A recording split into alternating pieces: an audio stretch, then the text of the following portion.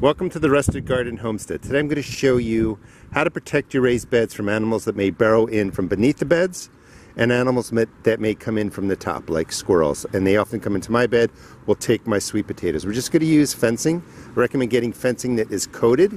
It'll last longer and we're going to put it into the bottom of the bed. We're going to put it into the top of the bed. I'll show you how to do that. And just one tip, if you're building a raised bed, build it the width of the material that you want to use. This way it'll be nice and easy to lay down. So I wanted to take a second and cut in because it was confusing to some people and I'm actually relaunching this video. Based on the kind of critter you have, you may want a space like this or you're going to want something smaller. And if you go to the smallest animals that usually are a problem, they're called voles. They're like little uh, tiny mice, field mice. You're going to want to use something called hardware cloth nice small squares that are hard to put your finger in. And if you're going to do it right, you'd actually want to lay this out first, have a couple inches coming out away from the raised bed, and then drop the raised bed on there and just pull it along the bottom. So your raised bed would be sitting on it. And this is going to stop the smallest of critters from getting in. If your raised bed is already in and you can't lift it or pull it out, then you're just going to cut it to size, just like down in the bottom there, and just make sure it presses up against the board tightly. You're going to need wire cutters and you're basically cutting your fencing piece, your wire down, to something that will fit into your raised bed. Now, it's going to come in different sizes when you go to buy it, meaning the spacing can be something smaller, like right here, or something wider. Again, I'm going to be using this primarily to keep squirrels from getting to my sweet potatoes, so the bigger squares work for me. And right over here on my fence, you can see smaller spacing. So it really depends on what kind of animal is coming in recommend if you can and you have lots of choices, get the smallest possible. If you end up with something like this and say the squares are too large, we would then flip another piece coming this way and just stagger the wiring across. So we could do two layers and make the spacing smaller. And to drop it in, you're just folding it up along the edges and you want it really close to the edges. Again, if you get something that's coated, it will last longer. You could use chicken wire but you know, once you fill this with, you know, 12 inches of earth, you really don't want to dig it out. This is just going to get filled normally with, uh, you know, my topsoil and my peat moss and the kind of stuff I do. I'm going to be doing a video on taking care of this one and doing a no-dig layering method again and showing you how you can put mulch way down at the bottom. You know, you see some on here. We're going to dig out another four to six inches and put a thick layer of mulch to uh, help manage moisture in a future video.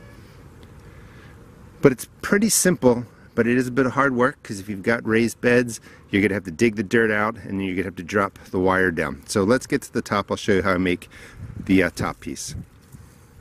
And the top is pretty simple too.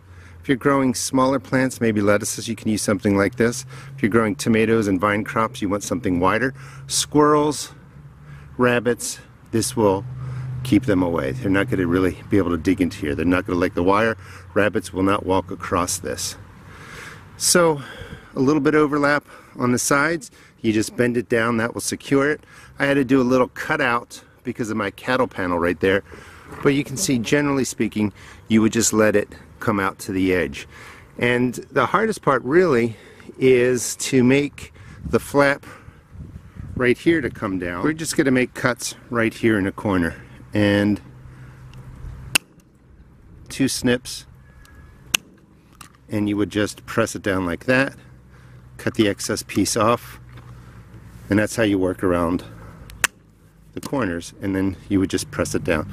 You want this to be able to come off easily so you're just going to leave it on there. If it's kind of buckling just pull the wire up stretch it around till it fits. You could put a screw down right here if you wanted to. Something that's not too complicated so you could take this off um, easily when you want to get to harvest.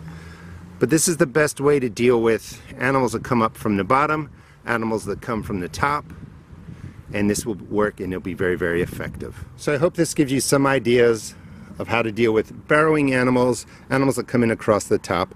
I do recommend a 10 to 12 inch raised bed. This will work with any size. The root systems will grow down past the wire in the bottom so you don't need to worry about that. And hopefully this helps you deal with those pests that you can't really do much about um, unless you trap them or use poisons. This is really, really effective.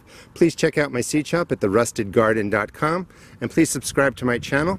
You can fill this bed again however you want, but we're going to do this bed in a way that we're building um, wood chips down at the bottom to create like a moisture sponge and reservoir. just hold water in here. So it's great for areas that have droughts. And as the wood chips decay over time, they're going to feed back to your plants, and that will go on for years. Thanks again for watching, and please subscribe to the Rusted Garden Homestead.